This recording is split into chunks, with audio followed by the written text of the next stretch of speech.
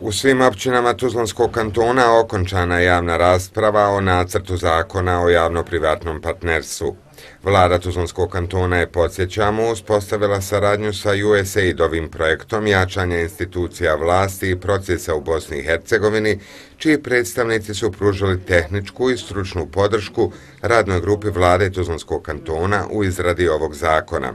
Mi smo zaista zadovoljni i odzivom, a i podrškom koju smo imali od lokalnih zajednica, ali i od predstavnika USAID GIF projekta koji su nam pružali tu stručnu i tehničku podršku u izradi nacrta zakona, ali i ovim javnim raspravama. Dakle, cilj je bio ne samo prikupiti primjedbe, sugestije i prijedloge, nego i prezentovati kako se sada planiraju, pripremaju i provode projekte javno-privatnog partnerstva, s obzirom da ovaj nacrt novog zakona omogućava samostalnost javnim tijelima da dakle, planiraju, pripremaju i provode projekte javno-privatnog javnog partnerstva.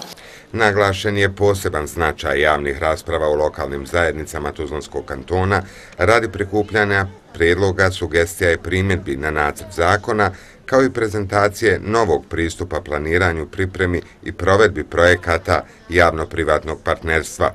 Sugestije i primjedbe učesnika javnih rasprava bit će razmatrene prilikom izrade predloga zakona o javno-privatnom partnerstvu. Javne rasprave su zaista bile uspješne, naravno negdje je bio manji odziv, negdje veći, ali smo gotovo u svakoj lokalnoj zajednici imali e, predstavnike opštinskih vijeća, opštinskih struktura, predstavnike poslodavaca, predstavnike javnih ustanova, dakle svi oni koji danas sutra mogu biti javni, odnosno privatni partneri sa druge strane.